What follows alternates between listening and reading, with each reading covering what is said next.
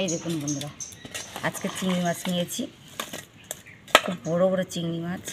আর আমরা তো অনেক রকমের চিংড়ি মাছের রেসিপি খেয়ে থাকি।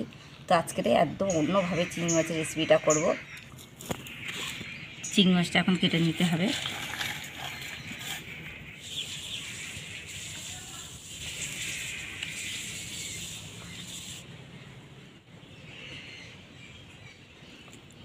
আজকে চিংড়ি মাছের রেসিপিটা করব। একটু চিংড়ি মাছটা বেটে চিংড়ি মাছের খোলাটা ছাড়িয়ে নিলে বেশি ভালো হবে। চিংড়ি মাছটা ভালো করে ছাড়িয়ে নেব। এইভাবে ছাড়িয়ে নিতে হবে। ছাড়িয়ে দিলে ভালো হয়, না ছাড়িয়ে নিলে কোনো অসুবিধা হবে না।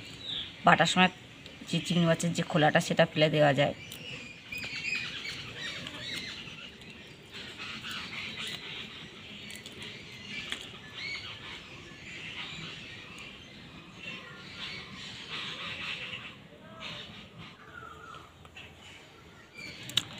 এই চিংড়ি মাছগুলো ছাড়িয়ে নেওয়া নেই। আর এখানে ছাড়িয়ে নিয়েছি, দুভাবে কেটে নিয়েছি। আজকে রেসিপি করার জন্য। আদা আর কাঁচা লঙ্কাটা বেটে নিতে হবে, আর এখানে পেঁয়াজটাও বেটে নিতে হবে। প্রথমে আমি চিংড়ি মাছটা বেটে নেব।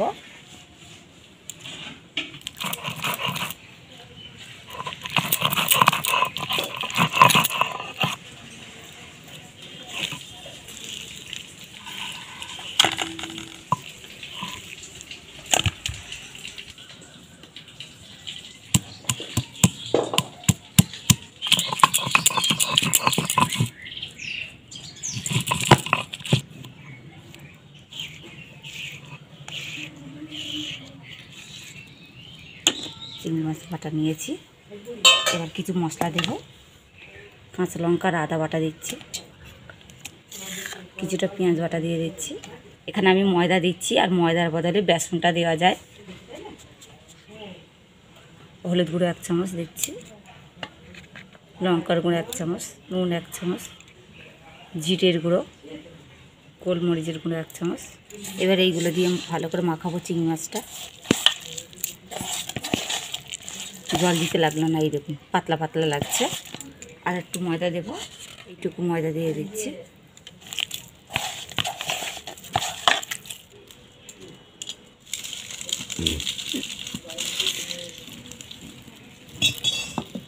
এখানে রিফাইন তেল দেওয়া যায়, তো আমি সর্ষের তেলে রান্নাটা করছি। তেলটা এখন গরম করে নিতে হবে বাটা চিংড়ি মাছটা ভেজে নেব।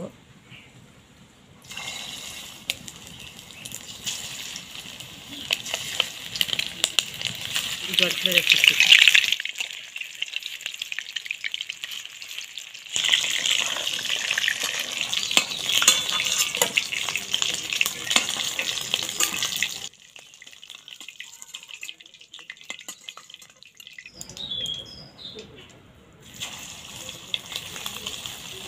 এই ভাজাটা শুধুও খাওয়া যায়।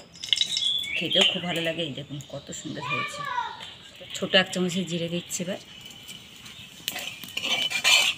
গোটা চিংড়ি মাছটা দিয়ে দিচ্ছি।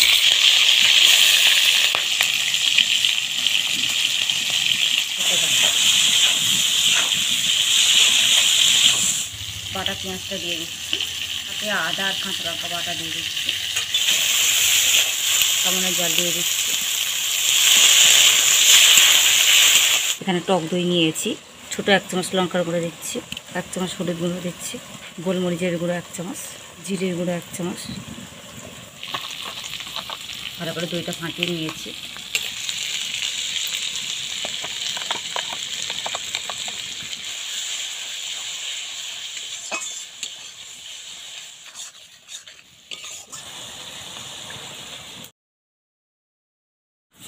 এখন চিংড়ি মাছ ভাজাটা দিয়ে দিচ্ছি।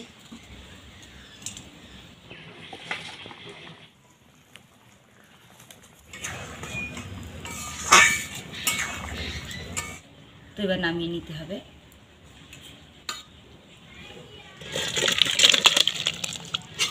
এই দেখুন, চিংড়ি মাছের রেসিপিটা হয়ে গেছে। কি দারুণ খেতে লাগে। এবার ভাত দিয়ে খেয়ে দেখতে হবে।